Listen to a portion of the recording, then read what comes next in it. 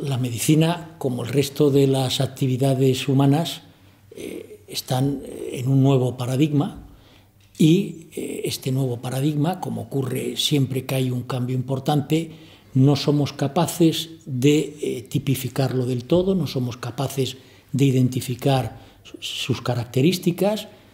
Eso sí, vemos que las cosas están cambiando, aunque lo que nos cuesta es saber hacia dónde van esos cambios, cómo son exactamente estos cambios, es un poco lo que está ocurriendo con el modelo económico y productivo. Todos nos damos cuenta que estamos asistiendo a un importante cambio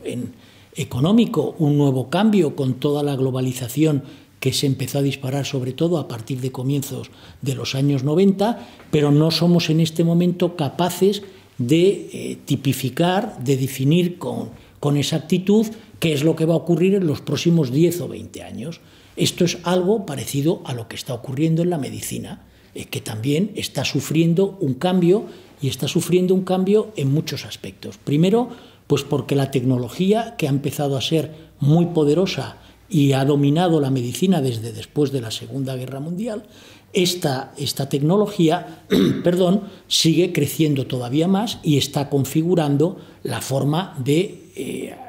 atender a los pacientes. Por ejemplo, hace solo unos pocos años era impensable que con un teléfono inteligente como el que muestro en este momento, eh, pues un paciente pudiera hacer una serie de registros en su casa y un médico los estuviera viendo en un ordenador. O que un paciente estuviera ingresado en una UBI y el médico responsable de ese paciente a distancia pudiera ver los registros de los monitores que tiene este paciente y tomar decisiones eh, sobre él.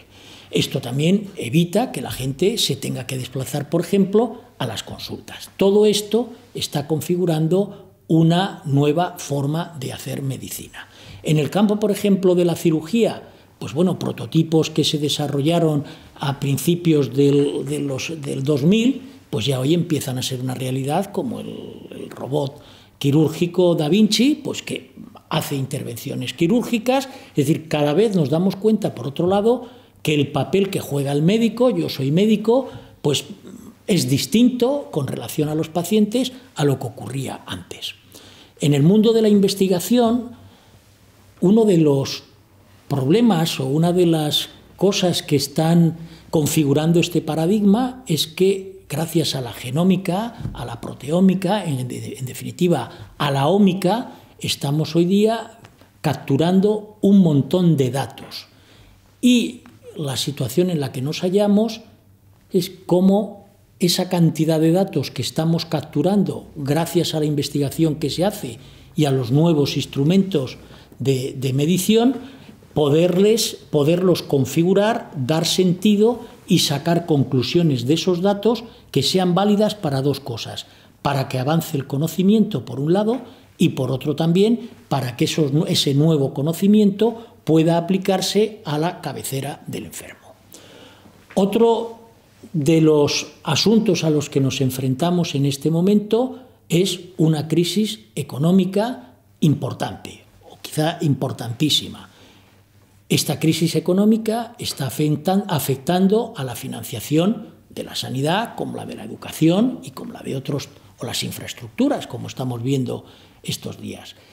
Cómo esta eh, crisis económica eh, está afectando a la sanidad pues nos lleva a darnos cuenta que a partir de ahora vamos a tenernos que replantear alguna de las formas en las que hemos venido dando cobertura sanitaria, porque nos pongamos como nos pongamos, los datos son muy tozudos y habrá que empezar a ver qué tipo de prestaciones pueden atenderse y qué tipo de prestaciones no pueden atenderse. ¿Y por qué no pueden atenderse cierto tipo de prestaciones? Porque a lo mejor son prestaciones que casi todos no las podemos pagar de nuestro bolsillo y no tenemos por qué estar cargando las arcas públicas con asuntos que eh, acaban retrayendo mm, recursos